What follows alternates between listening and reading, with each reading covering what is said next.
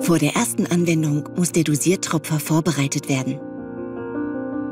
Hierzu ist die Flaschenöffnung nach unten zu richten und durch Druck auf die Fingerauflage zu pumpen, bis ein Tropfen austritt.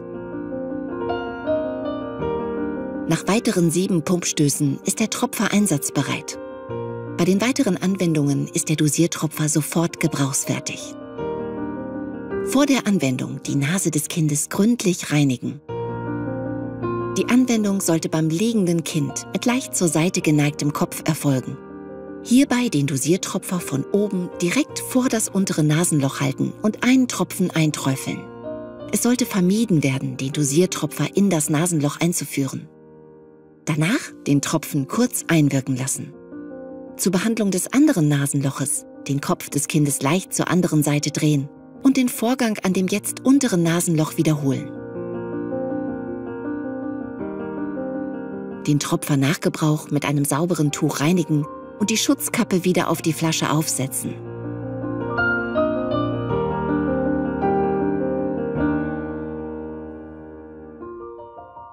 Zu Risiken und Nebenwirkungen lesen Sie die Packungsbeilage und fragen Sie Ihren Arzt oder Apotheker.